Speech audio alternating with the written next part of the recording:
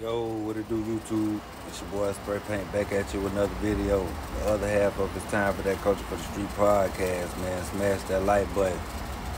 So we gonna talk about how it was impossible for a little Baby to inherit Marlo's beat.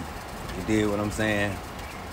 It was quiet in Atlanta for a little while until Gunna dropped the bread and butter and he shook the internet because what he said was all facts.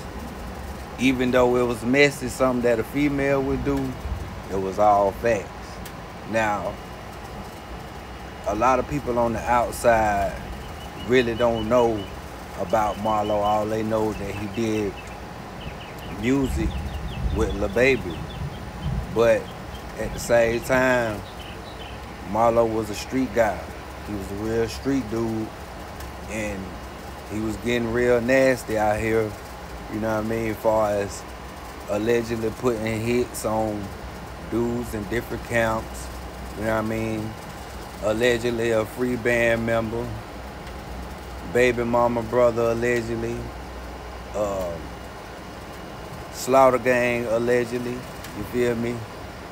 It was just surfing all around. See, one thing about Georgia, Georgia ain't all that big like people think it is. Whatever that's popping in Atlanta, they got other kin folks that's also in other small cities. You feel me? Like Augusta, Macon, the list goes on. But not to get off subject. Allegedly, Marlo was putting hits on a lot of guys, bro, and they was getting blitzed. But this the thing after Marlo got killed and the baby was by himself, he knew that he was outnumbered, bro. Like, true enough, he's from 60s.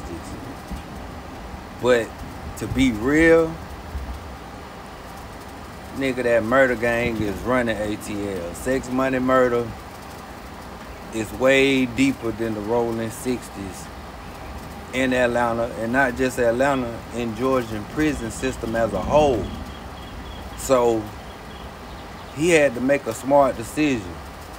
Either maintain and get your money or end up being smushed. You feel me? End up having problems where you born and raised at. And nine times out of ten, that's probably what would have happened. Because everybody know Slaughter Gang, them, them some real street dudes that's not playing no games and their numbers is ridiculous.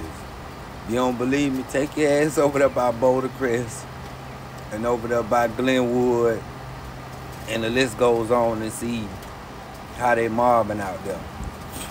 Now, everybody saying, Lil Baby, he solved, they would have rolled for their partner. Okay, cool.